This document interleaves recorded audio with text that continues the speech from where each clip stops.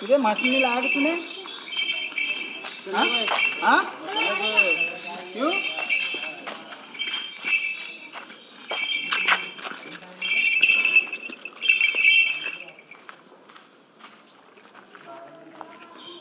video बना video